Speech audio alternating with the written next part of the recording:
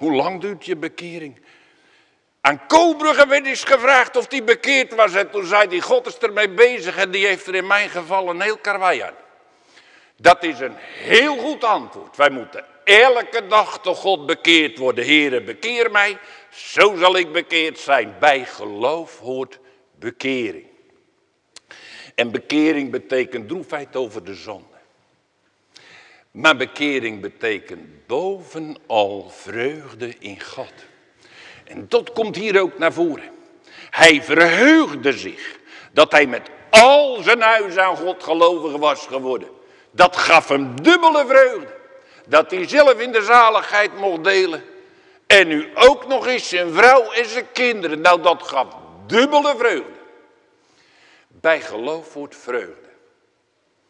De droefheid naar God en de vreugde in God, volgens de Heidelbergse catechismus, heel terecht trouwens, de twee elementen van de ware bekering.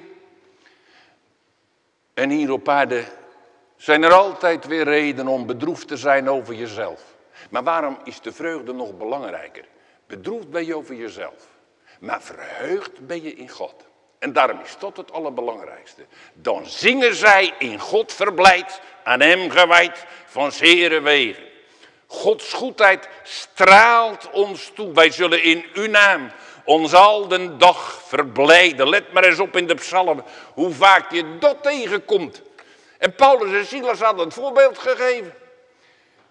Midden in de nacht hadden ze gouden lof gezongen. Ja, maar ze zaten toch in de gevangenis? Ik zal zijn lof zelfs in de nacht zingen daar ik hem verwacht. En mijn hart wat mij mocht treffen tot de God mijns levens heffen. Een kattekazant vroeg eens aan me, ja dominee, waarom merken we daar dan zo weinig van in de kerk, van die vreugde in God?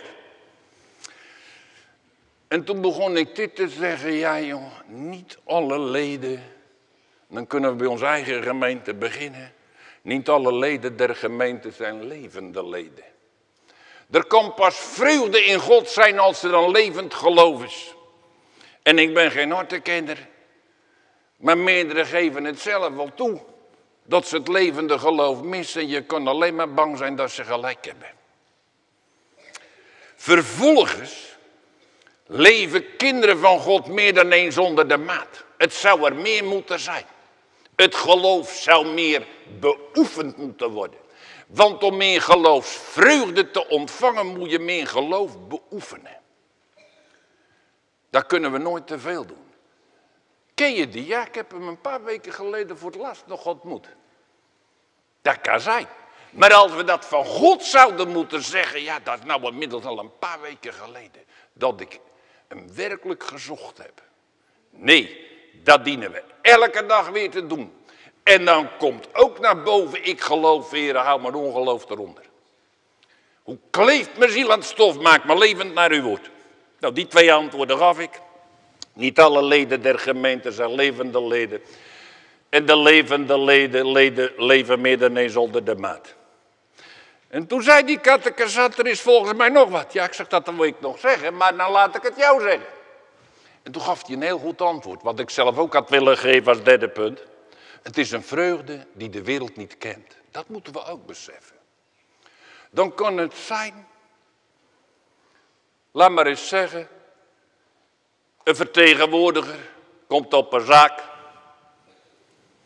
en die gaat een gesprek aan met degene die hem daar ontvangt, de directeur of een van zijn ondergeschikten. Beiden zijn christen. En op een gegeven moment gaat het niet meer over geestelijke, zakelijke dingen, maar over geestelijke dingen. Er komt een derde bij. Die hoort dat aan. Daar kunnen er twee dingen gebeuren.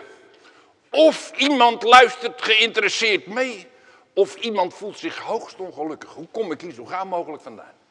Hoe kom ik hier zo gauw mogelijk vandaan? Omdat het over een vreugde gaat waaraan die geen deel heeft. Dan snapt hij niet waar het over gaat. Mensen zijn over zaken verblijd, het zegt hem helemaal niks. Daar moeten we dus echt oog voor krijgen voor de vreugde in God door de Heer Jezus Christus. Ik, Heer, die al mijn blijdschap in u wint, hoop op uw heil. Met al uw gunst genoot, ik doe uw geboon. oprecht en welgezind, uw liefdedienst heeft mij nog nooit verdroten. En hoe dan ook, zo staat het heel terecht in onze catechismus, dan gevoelen wij in dit leven altijd nog maar een klein beginsel van de eeuwige vreugde. En dat maakt het dat we roepen, kom Heere Jezus, kom toch haastiglijk, want dan wordt waar hun blijdschap zal dan onbepaald door het licht dat van Gods aangezicht straalt, ten hoogste toppunt stijgen. Dat zijn de zaken waar het om gaat. Laten we onszelf onderzoeken. Moeten we erkennen, ik mis dit. Ga dan met je lege handen naar God, want dat is geloven. Moeder, kom ik arm en naakt tot de God die zalig maakt.